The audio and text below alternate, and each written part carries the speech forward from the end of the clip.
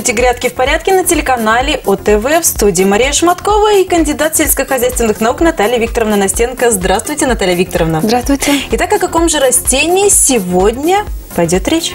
Сегодня будем говорить о фикусах. Они очень популярны в комнатном цветоводстве благодаря тому, что у них очень красивая декоративная листва. Итак, говорим о фикусе.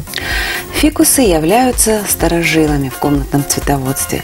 Ведь на цветы тоже бывает мода. Она проходящая. Цветы становятся модными, популярными, потом мода на них проходит, но это не касается фикусов. Они популярны уже более 200 лет. И этот цветок не только наших мам, но даже наших бабушек, прабабушек.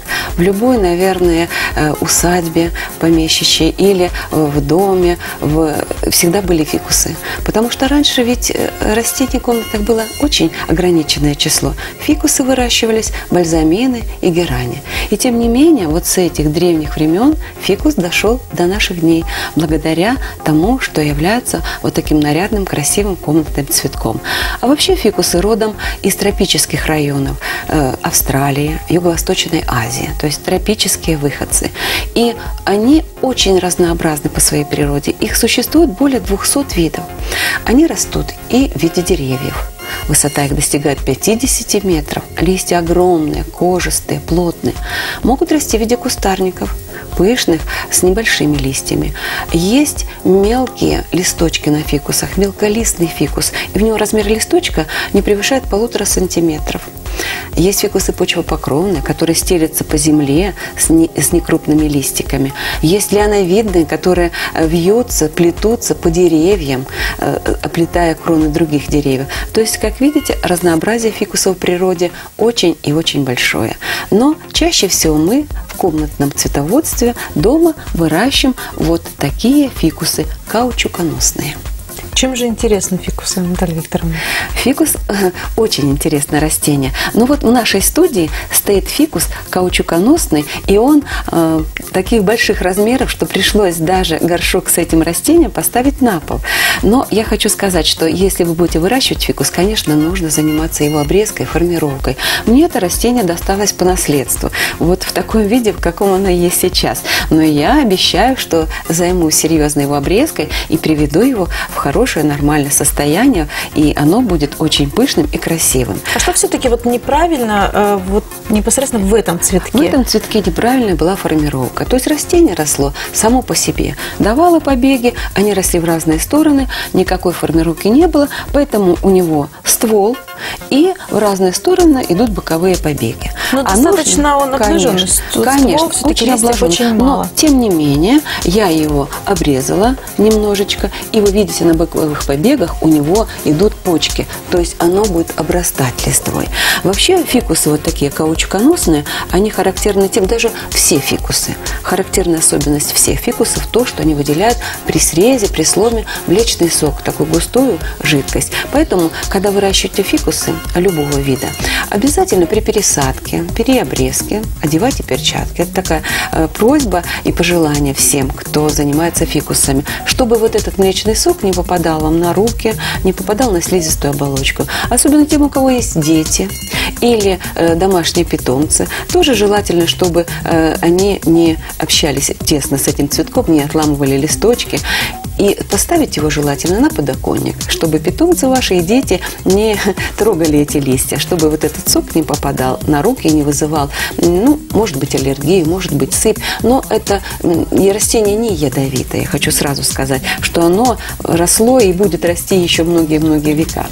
Так вот, э, фикус каучуконосный, он имеет три вида.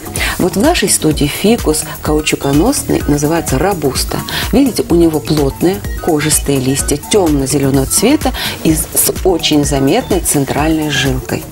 Это фикус робуста. Есть фикус черный принц. Понятное дело из названия, что у него листья очень темные. Черный принц, название говорит само за себя, у него практически черные листья. И этот вид фикуса, он очень хорошо смотрится в больших помещениях, в залах, э, в больших светлых помещениях. И вообще очень красиво смотрится с другой зеленой листвой, на ее фоне листья очень замечательно смотрятся. Есть еще фикус каучуконосный триколор. У него листья пестрые, имеют такую мраморную окраску. Они все похожи на наш фикус, на фикус робуста, но чаще всего скажу, что в, дом, в домах, в домашних условиях выращивают наши любители-цветоводы вот такой фикус, фикус каучуконосный робуста. Наталья Викторовна, что любит фикус? Вы знаете, наверное, потому он такой долгожитель в комнатном цветоводстве, что очень эм, легок в, в выращивании, не предъявляет совершенно вот таких сложных требований. Но когда мы говорим о том, что любят растения, как за ними ухаживать, мы всегда говорим, какие требования к свету, к теплу, к влажности, к почве. Ну вот давайте поговорим, что же любит наш фикус. Он светолюбивое растение, ведь он из тропиков, где много света, много тепла. Поэтому любит свет.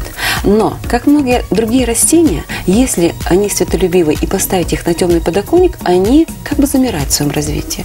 Вот поставьте кротон, он у вас на северном подоконнике будет замедленно очень расти, даже просто законсервируется в развитии. Он не погибнет, просто он будет в таком же виде, как вы его поставили, без прироста стоять на одном месте. Вы будете поливать, ухаживать, кормить, но прироста вы не дождетесь. Совсем другое дело фикус.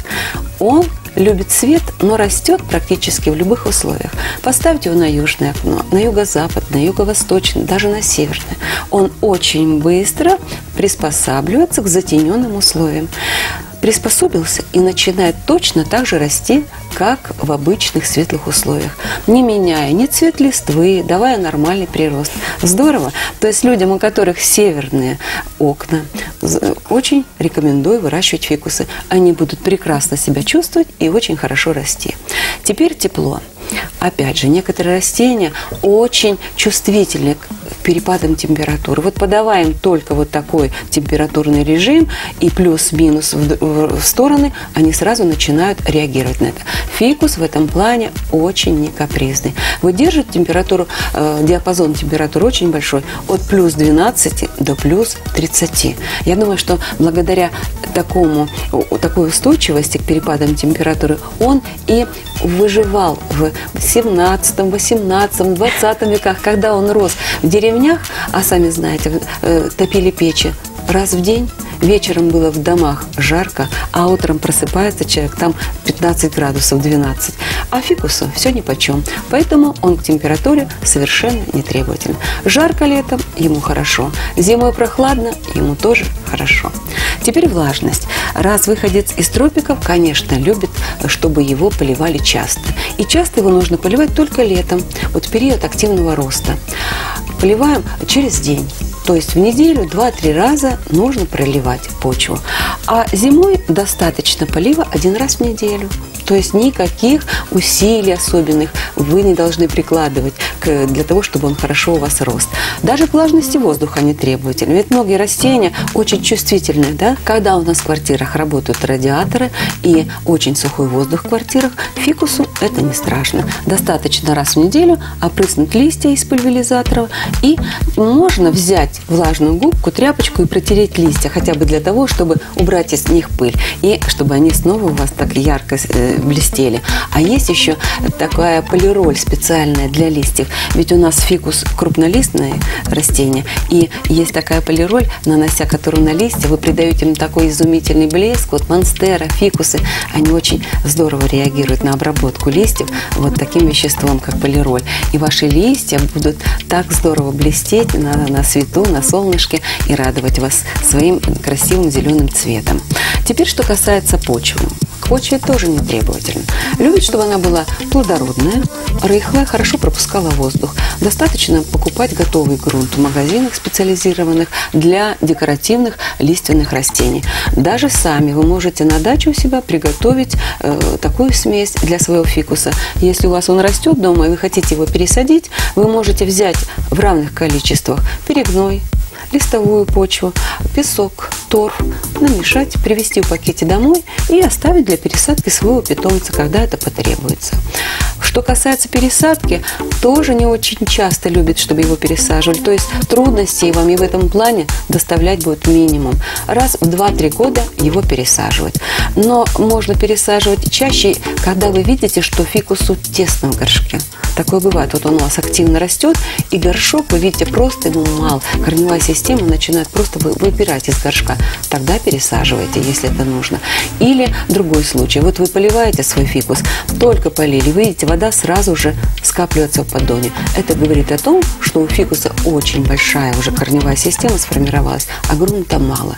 Поэтому вода не задерживается, не смачивает почву, которой совсем мало в горшке, и она сразу же проходит э, в поддон. Поэтому такой фикус тоже нужно пересаживать. Как видите, требования небольшие. И насчет подкормок, естественно, э, нужно кормить. Особенно в период активного роста, где-то с марта по октябрь. Подкормка хотя бы раз в две недели. И перед тем, как вы будете кормить растения, обязательно пролейте грунт горшке, чтобы он был влажным, чтобы вы вот этим раствором питательным не обожгли ему корни. А так развели в воде для полива э, специальные удобрения, органические, чередуйте с минеральными и подкармливайте фикус. И его листва будет такой же сочной, зеленой, красивой. И кормить, конечно, фикус нужно. Наталья Викторовна, так ли легко фикус размножить? Как ухаживать за ним? Легко размножить. Вот когда я буду, допустим, делать обрезку, я вот эти молоденькие черенки обрезаю сантиметров 10 длиной с одним листиком. И когда вы обрезаете острым ножом, я говорила, выделяет млечный сок. Поэтому Одеваем обязательно перчатки. перчатки и подносим под струю холодной воды. Ждем, когда сок млечный заканчивает вытекать с этого среза.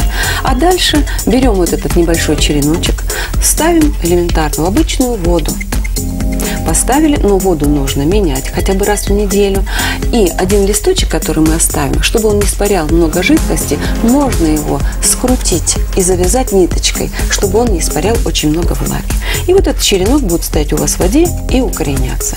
А можно и пойти по другому пути. Срезанный черенок с одним листочком сразу же посадить в горшок с грунтом, с питательным, который вы купили. И этот срез можно тоже обработать дополнительно ростовыми веществами, корневином, гетерооксином, для того, чтобы корни быстрее тронулись в рост. И посадить его в горшок, сделать мини-тепличку, накрыть пленкой и ждать, когда ваш черенок укоренится. Укореняется очень легко, быстро, поэтому размножить его не, не составляет никакого труда. Наталья Викторовна, ну, кажется, что с фикусом совершенно нет никаких хлопот, он просто в уходе, в пересадке, в размножении. А подвержен ли он болезням и вредителям? Вот как дело обстоит в этом случае? Вы знаете, и иммунитет у фикуса довольно сильный и практически, ну, не по зубам будет никакому вредителю вот навредить вот этому плотному кожистому листу. Поэтому э, вот цветоводстве с фикусом проблем, как правило, нет. Единственная проблема, с которой сталкиваются наши цветоводы, это опадение листьев. Вот бывает так, что взял фикус и сбросил все свои листья. Главная проблема. И из-за чего она возникает? А из-за того, что вы слишком переувлажняете почву. И часто это бывает зимой, осенью поздней, когда вы продолжаете его поливать точно так же, как летом. Почва сильно переувлажняется, и фикус так реагирует. Вот это такая самая большая проблема при выращивании фикуса. Что нужно сделать? Прекратить полив. Пусть почва подсохнет, практически не поливать растения. И вот когда вы видите, что оно вновь дает молоденькие листочки, тогда начинаете умеренно поливать свое растение. И я думаю, что никаких проблем с выращиванием фикуса в вашей квартире не будет. Спасибо, Наталья Викторовна, за ценные советы. Вы смотрели программу «Грядки в порядке». Всего вам доброго и до свидания. Всего хорошего. До свидания.